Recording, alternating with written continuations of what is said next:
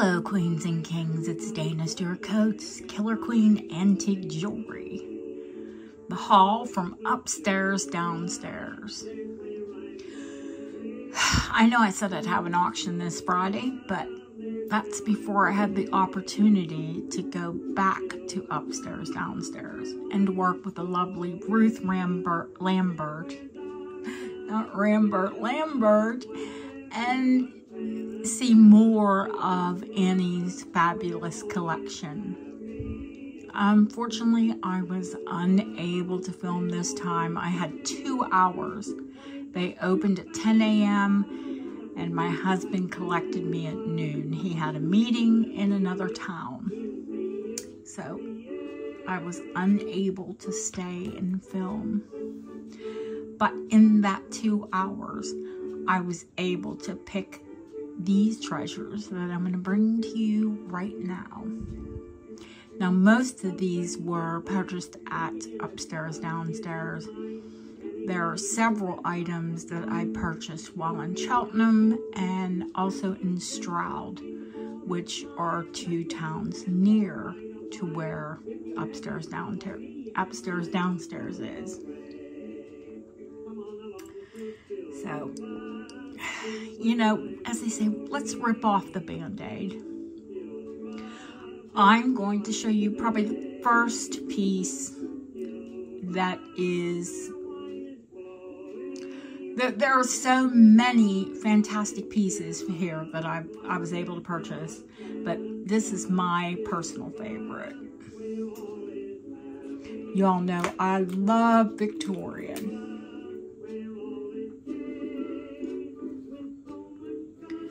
This is the most incredible piece of Victorian jewelry that I have been able to bring for a while.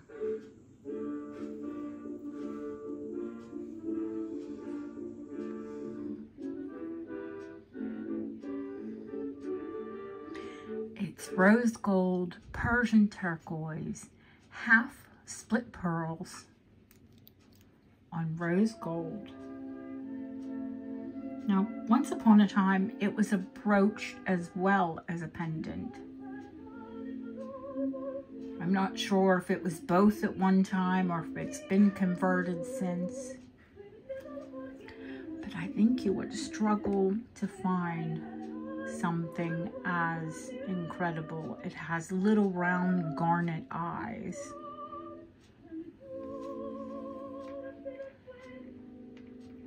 It's on a beautiful of course, Victorian chain.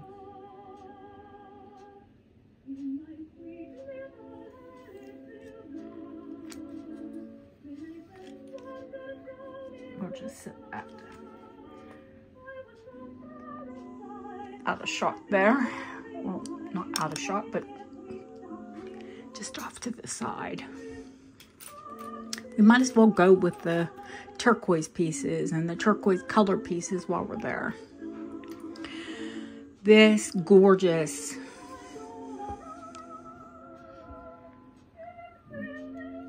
Stunning. It is 22 carat. XRF malachite and turquoise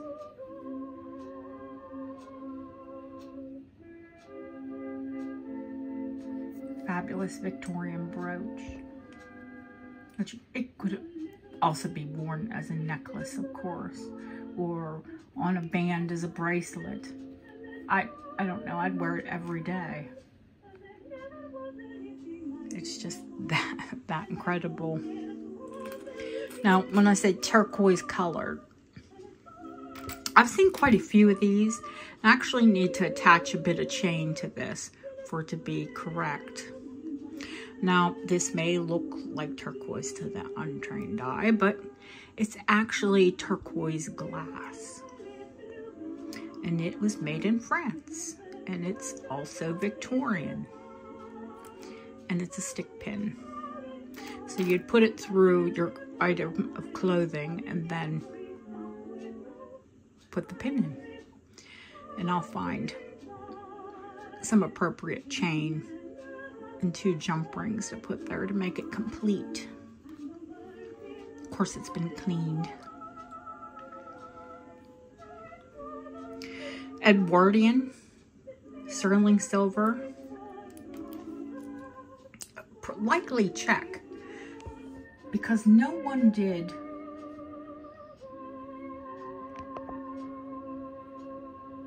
dragon scale Glad jade glass as well as the Czech. I'm trying to get in there so you can see it it actually looks alive.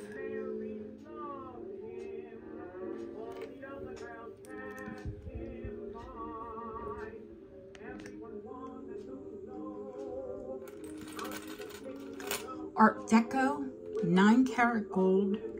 It's rose, the band is rosy gold. As you can see, it's quite rosy. And then you can see the cabochon is actually a deep yellow gold. Now the band is 9 karat gold. The top of this is 12 karat gold. I believe this is a conversion, a conversion ring. There is porcelain, I'm guessing, doesn't look to be stone to me, but perfect scarab. It's completely hallmarked, but it carries from Victorian to Art Deco, the 9 karat hallmark. Let me see if I can get in there and show you.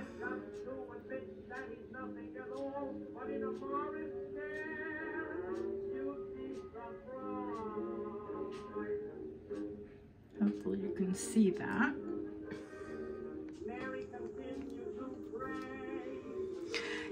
Yes, there will be a lot of turquoise colored items because I love turquoise. and it just worked out that way. Now, these, I believe the earring is Art Deco. But these are new sterling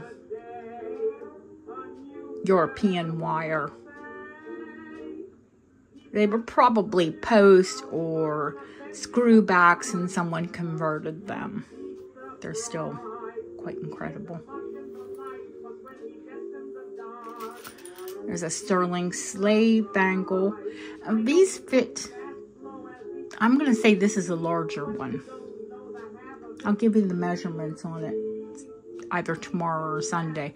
This is just a haul video. We'll have another video tomorrow that does a preview for Sunday's auction. This fellow is Art Deco, and he has blue crystal eyes.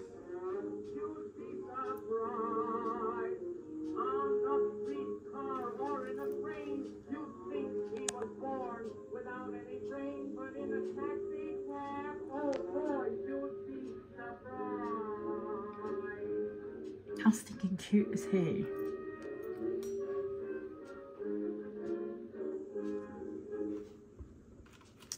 There's an Edwardian.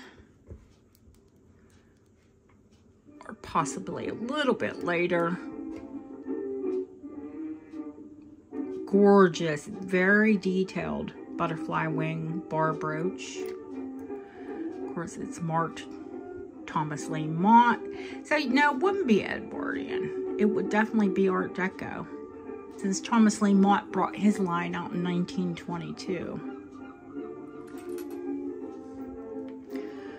An antique Bow Sterling double Scotch Thistle.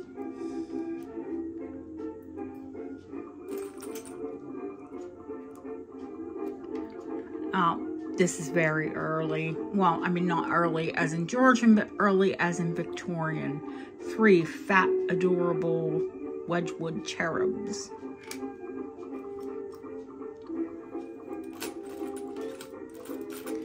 Definitely deco. Incredibly brilliant. Marcasite sterling brooch.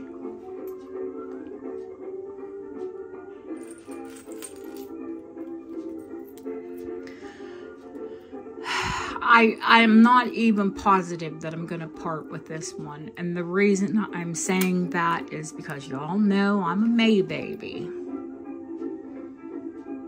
Now, to have one enamel slider is rare. To have two, I don't even have to say it, do I? and I just flipped it and showed you. It's Lily of the Valley on one side and Little Violets and Fern on the other. This is an absolutely stunning bracelet Albertina. Little hearts. It just, it has the whole nine. There's another gorgeous Albertina that is also enamel roses. I desperately love a rose. I think rose is the June flower, if I'm not mistaken. Another Art Deco with a safety. Gorgeous marcasite brooch. Yes, I love bows. I'm I'm a bow girly. Thomas Lee Mott. Hand painted under rock crystal. One of his painted Victorian ladies. These are, of course, Art Deco. Now, I don't have chains on these yet, but guys, these have the original glass and frames that is enameled with different shades of roses and little blue forget-me-nots. This one is with roses and guilloche. They're both guilloche. But look how stunning. Aren't these gorgeous? Oh my God. I have to bring out another uh, enamel piece when I show those. Let me see if I going to grab the rest of the turquoise color things and then we can clear this away. I realize it's really busy. Uh, antique chalcedony glass. The glass is absolutely in perfect condition apart from one bead that's smooth. It's probably just a manufacturer split Now, this would definitely be deco, this chrysoprase glass. I'm to start clearing things away as I show you.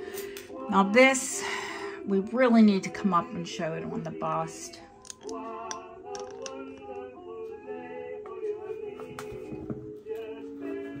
Oh, yeah. Um, I'll count up the carats for you and the carat weight.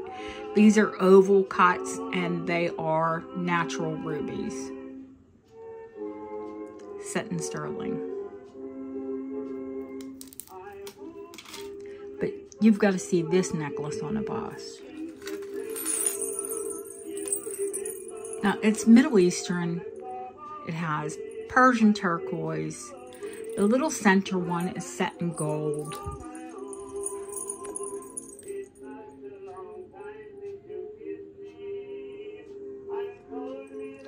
Every single one of these is a bell.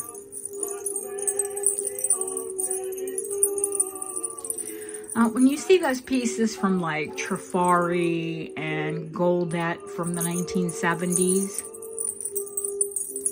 they were modeled after these stunning Victorian pieces.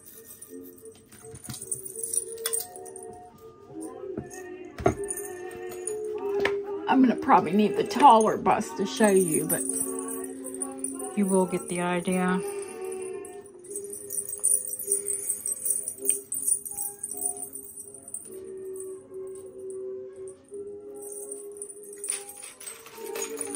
That necklace is absolutely incredible. Oh, this is another Albertina that I was able to find a double slider pannier. Oh, it's a little twisted. I want to twist that before we see it. Also has a T-bar and a tassel, of course.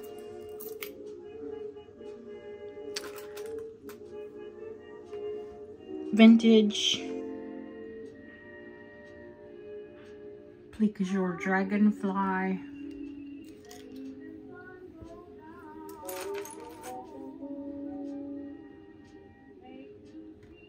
Now, this isn't signed, but it has all indications of being native. And this is a stunning hunk of turquoise.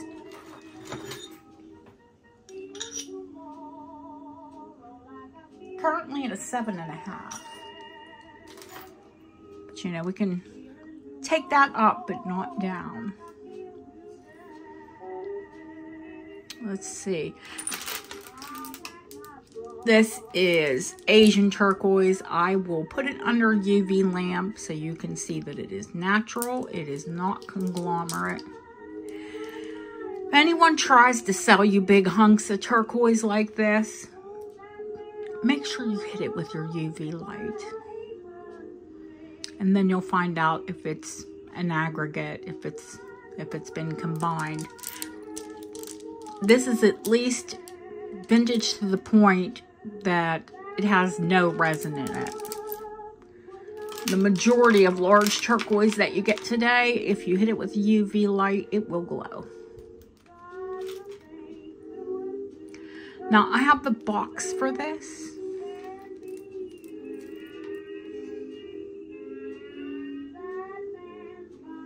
Gorgeous sterling marcasite watch the receipt is in the box. It's dated for 1938.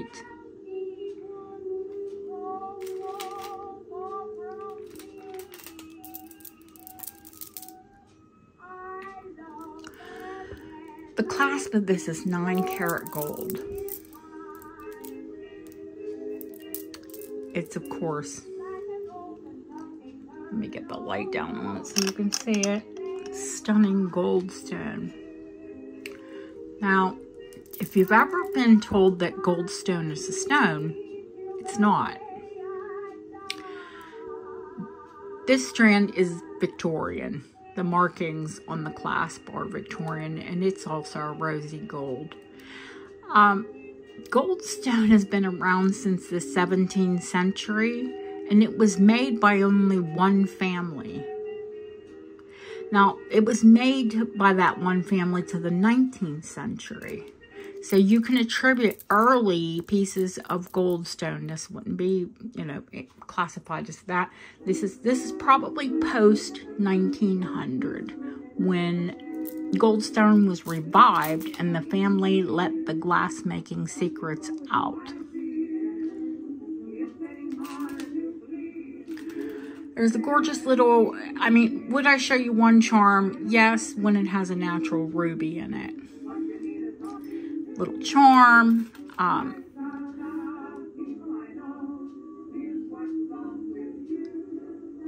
now this is an almandine garnet. Can you see how it's almost pink? It's Victorian, 9 karat gold, set in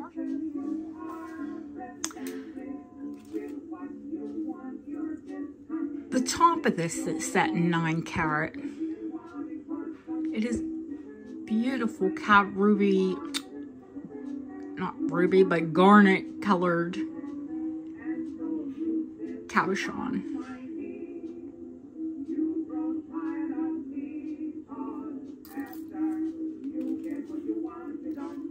These are antique garnet sterling earrings with filigree uh, converted again with these posts, but likely Art Deco.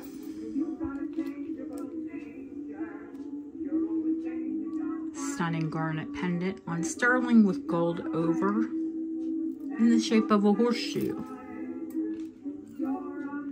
Fantastic marcasite bow ring.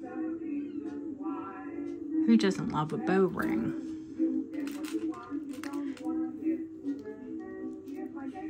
Victorian jetstone drop earrings. Uh, this Victorian locket is sterling with gold over. It also has the original glass and frame. And I love that it had someone's sweetheart. That's that's a bit of paper and they've cut that oval out of it and behind it is a daguerreotype, a tintype.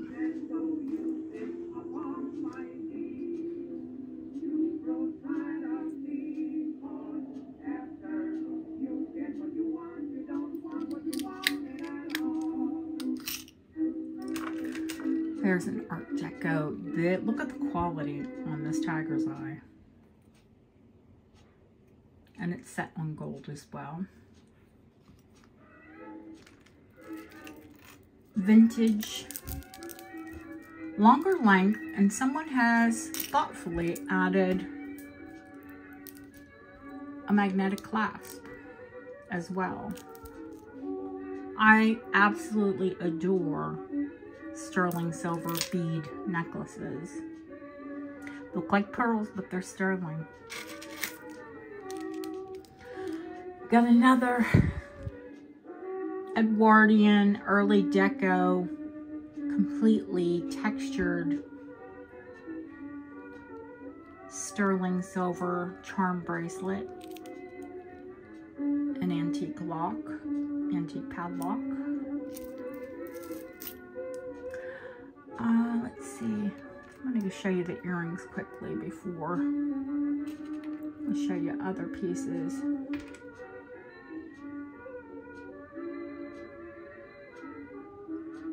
Marcasite bows, little Edwardian looking bows. An Edwardian Marcasite bracelet. More modern. These are sterling and they're iolite, which I adore good iolite because they look like fabulous cornflower blue, Kashmir, not cornflower, but Kashmir sapphires. These are vintage, they are crystal, and they are adorable. They're a dangle post one of my favorite kind of earrings. Comfort of a post, but a little bit of a dangle. Uh, it's a Victorian jet bracelet. It is in incredible condition.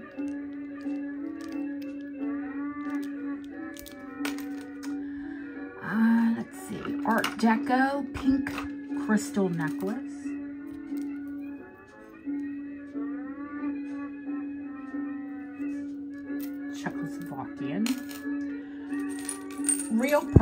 Earrings. I love the design of these. Sort of like pearl disco balls. Bit of fun. A gorgeous rose cut garnet ring, 9 karat gold.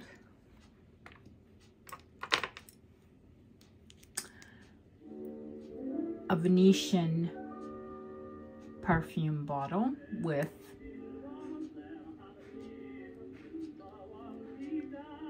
a little bit of damage there, but this is uh, cased glass, glass on glass. And you can see the gold, it's actually goldstone, but they call it, uh, of course I'm gonna draw a blank while I'm doing a video.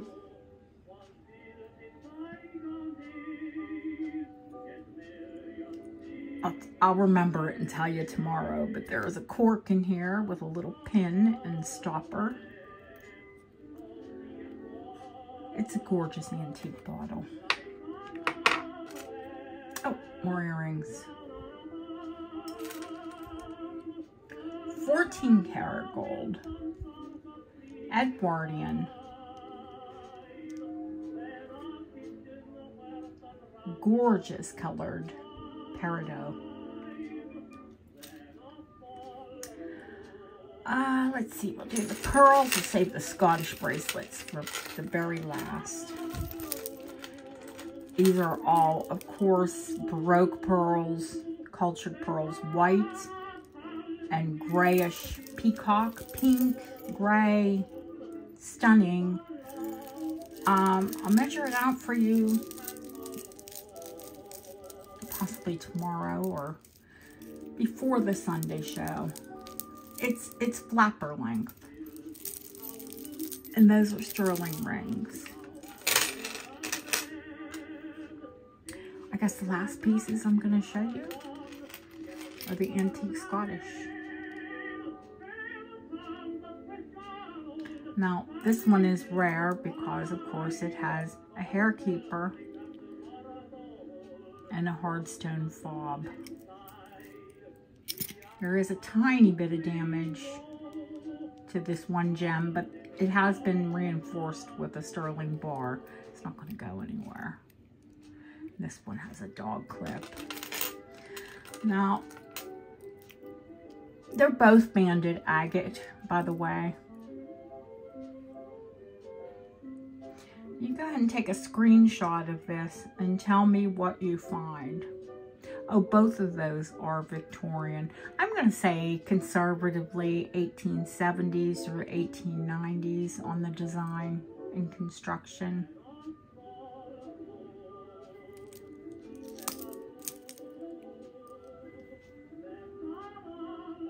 They are two incredible Scottish bracelets.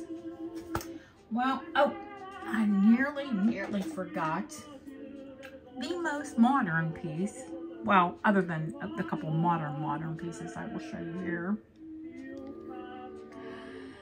Lucite from the 1950s. It is an all-in-one purse and compact. Oop. There's your mirror and your powder. Your lipstick would go here. You could put your cigarettes or whatever other little items you were going to carry with you. And I will give you the comps on this. I'll show you the comps on this when I preview it. I'm sure you know that lucite bags are very collectible, especially all-in-one with a compacting bag. Well, guys, this is uh, this is what I left home for, and I hope that you love everything as much as I do. And I'm so appreciative once again to Ruth Lambert at Upstairs Downstairs Antiques. And I also got to meet Ruth's partner, which was wonderful as well. Mr. David came in as I was purchasing these items. I'm sure he has a, a deep connection with them as they did belong to his partner. Well, I will see you tomorrow for a preview video and hopefully I'll see you Sunday at 11 a.m. Pacific Standard Time and 2 p.m.